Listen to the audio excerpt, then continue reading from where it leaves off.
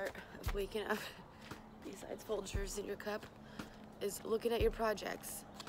My favorite part about painting is waking up and looking, is looking at it the morning after and look at my lizard skin. Yes! Wow. That's really good looking. Oh. Oh. oh. Slide it. Don't hesitate. Oh, baby. Bam. Brett, looking freaking tasty. The day has finally come. I am shooting the inside of the Bronco with lizard skin. There's two different types, sound deadening and heat control. I went ahead and got the heat control. I was told to just kind of rough it up, get any debris off, any glue. I use, I'm using some 80 grit right here. Just keep in mind if you are gonna do this yourself that if you sand anything down to bare metal, it needs to be primed first. And now that I'm making this video, I just remember that I forgot to prime. So, this stuff is like original Yeah. on there. Yep. This stuff comes off pretty easy with the pry bar. I'd scrape that off. Okay. Yep.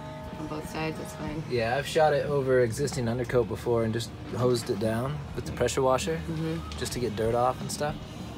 Okay, so what do I have to tape off? Windows, Mm-hmm. everything I don't want, lizard skinned. Mm-hmm. Okay.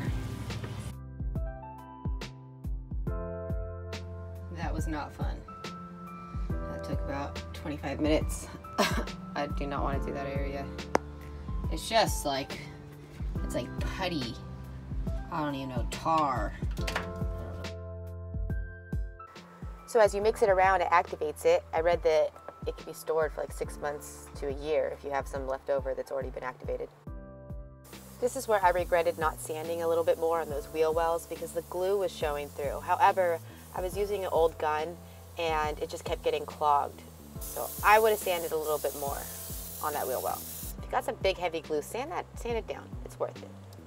But yeah, the gun kept getting clogged, so Jared would have to take it every couple of, uh, every 45 seconds it felt like, and clear it out with water, soapy water, and then give it back to me. took all day, as you can see.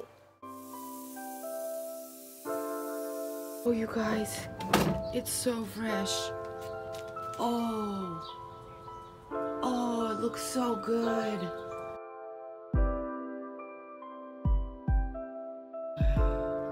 It's beautiful. Oh, I wish you guys could see it in person. It's so beautiful.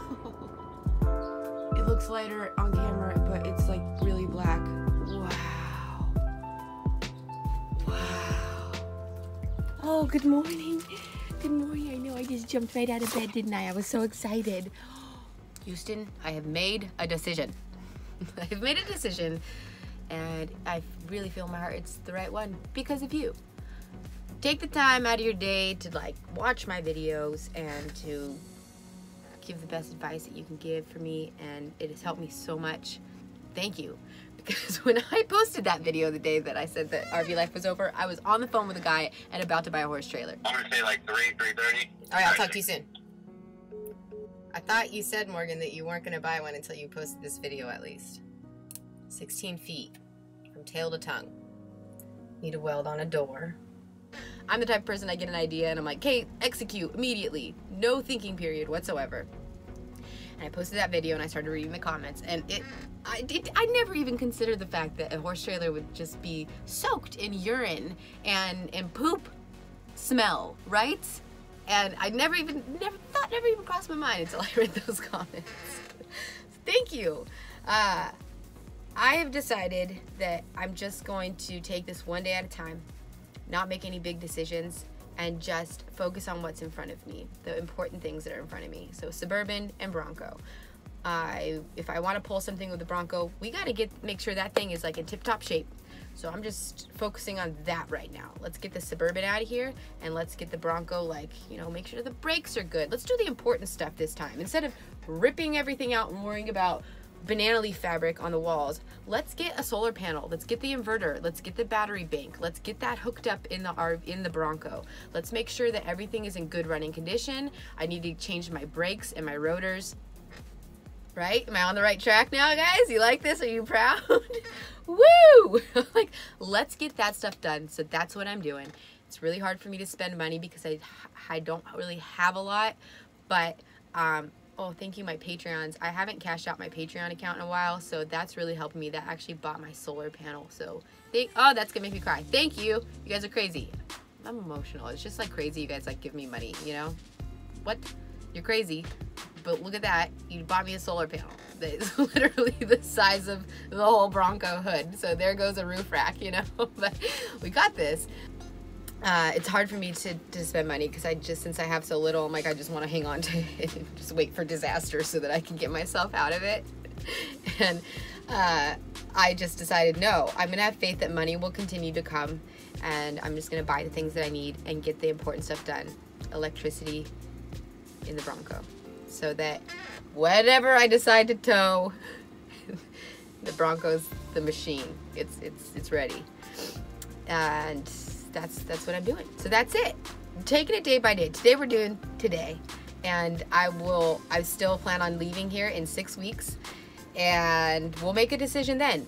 I'm leaning towards like just winging it in the Bronco and just get out of California, go have some fun. I mean, I can if I just have the Bronco. Oh my gosh, the possibilities. I know it's a little crazy, but if I didn't have two wiener dogs, I'd already be in that. But now that I've been in this, you guys, they're always by my side.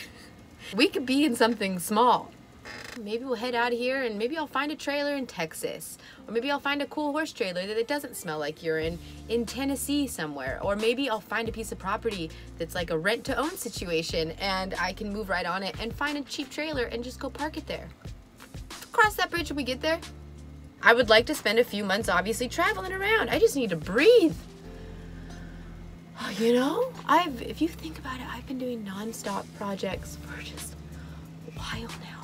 I just kind of need to regroup and not feel like I have to wake up and like just go nuts like with my hands and like working and figuring things out and what am I doing now and what's the plan? Like.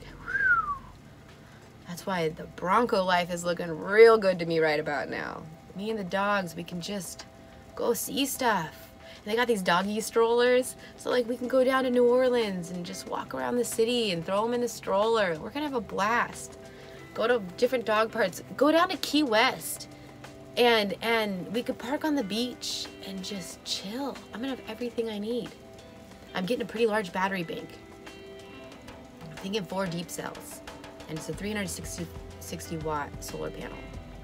If you guys have advice on on electricity, please throw it at me right now. And then I'll have a generator where I could take that to like, you know, a Walmart parking lot during the day and charge up my battery bank if there is no sun.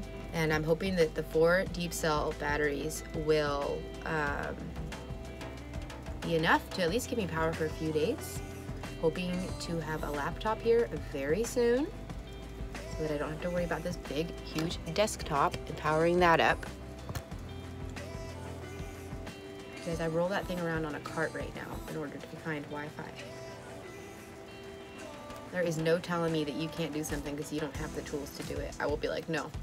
No excuses. No excuses. if I had to take this desktop into a Starbucks, I would. Would that'd be a desperate moment. Okay. All right, I've been talking for 12 minutes, so I gotta go.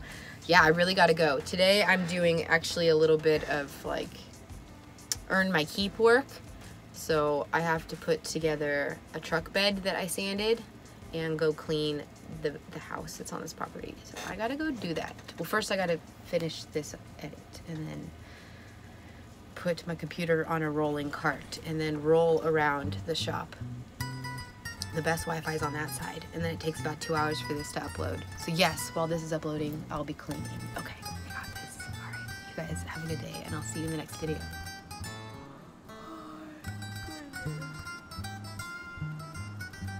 All right, coffee, coffee time. Another comment I've seen is, uh, oh, it's so sad you're giving up on El Dorado. And I feel the same way. You know, I'm like, oh, I love a challenge. I should just try to like see how far this thing could actually get across the country. But I'm also like, I want to have a good time. I want to be able to just go explore new areas and just go find a place to park and kind of stealth camp a little bit. Stealth park, stealth sleep, whatever you call it. I don't know what I'm doing. Still have no game plan for when I hit the road in a few weeks. Have have some fun. Check out new cities so I can go start a new life. Okay. I'm gonna go ahead and take the headliner off and spray the rhino liner. I'm gonna go ahead and take the headliner. You're crooked. Go ahead and take the headliner off and spray the lizard skin underneath it.